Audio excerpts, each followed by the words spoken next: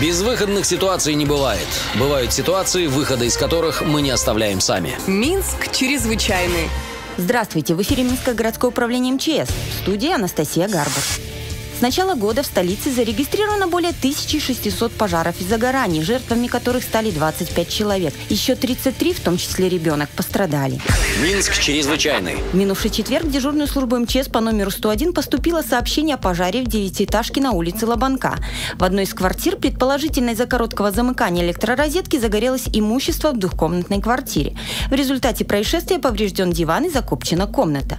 Не допускайте перегрузки электросети, содержите электропроводку исправном состоянии. В этот же вечер помощь спасателей понадобилась четырехлетнему ребенку. Инцидент произошел на улице Сурганова. Палец девочки предательски застрял в стволе пластикового пистолета. Спасатели, используя специальный инструмент, освободили палец малышки. Помощь медиков ей не понадобилась.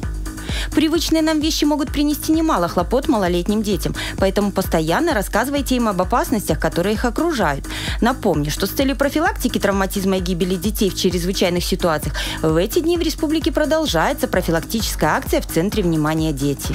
Минск чрезвычайный. На минувшей неделе пожар был зарегистрирован и на улице Семенова. В одном из боксов, предположительно из-за нарушения противопожарных требований при проведении огневых работ, произошло возгорание мусора и деревянного настила в смотровой яме. В результате оказались закопчены стены бокса, были повреждены кровля и пластиковые элементы кузова автомобиля Audi A8. Исполнители огневых работ. Проводя огневые работы, не забывайте соблюдать правила безопасности и ежегодно проходить подготовку по программе пожарно-технического минимума в Минском городском управлении МЧС.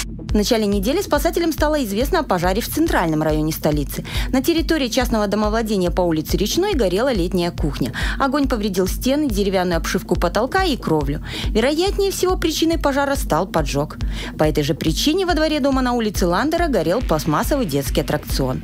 Умышленное нанесение ущерба имуществу с использованием огня влечет за собой административную и уголовную ответственность.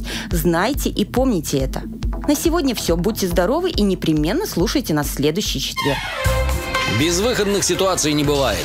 Бывают ситуации, выхода из которых мы не оставляем сами. Минск чрезвычайный.